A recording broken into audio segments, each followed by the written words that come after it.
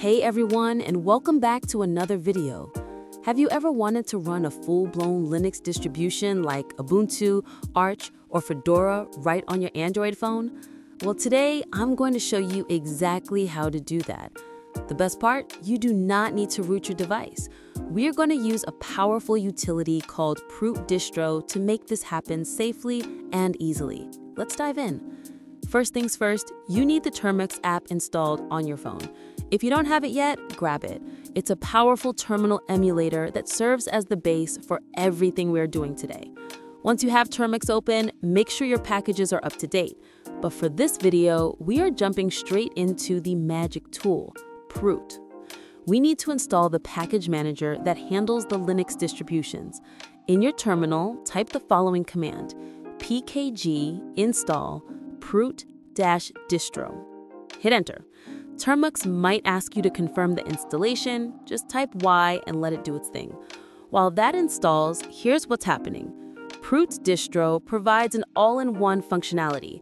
It handles the installation, removal, backup, and login for these Linux systems without touching your actual Android system files. It's basically a translation layer that lets Linux run on top of Android. Okay, now that we have the tool, let's see what Linux flavors we can install type this command, proot-distro list. Look at that list. You've got Alpine, Arch Linux, Ubuntu, Debian, essentially the heavy hitters. For this video, we're going to install Fedora. To install Fedora, just use the install alias. Type proot-distro install Fedora. Hit enter. Now, depending on your internet connection, this might take a minute or two because it is downloading the actual root file system for Fedora. Installation is done. Now, let's actually jump inside our new operating system. To log in, type proot-distro login Fedora. And just like that, you are in. You are now running Fedora Linux on your Android device. You can install software using DNF, run scripts, or set up a development environment. Before you go, it's important to know how to clean up.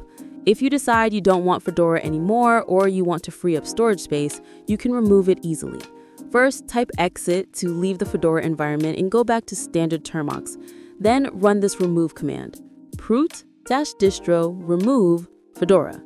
Confirm it and it wipes that specific distribution clean from your phone.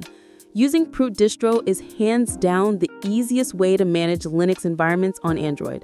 It's safe, reversible, and incredibly powerful for developers or enthusiasts. If you found this helpful, smash that like button and subscribe for more Android Power user tips. Thanks for watching, and I'll see you in the next one.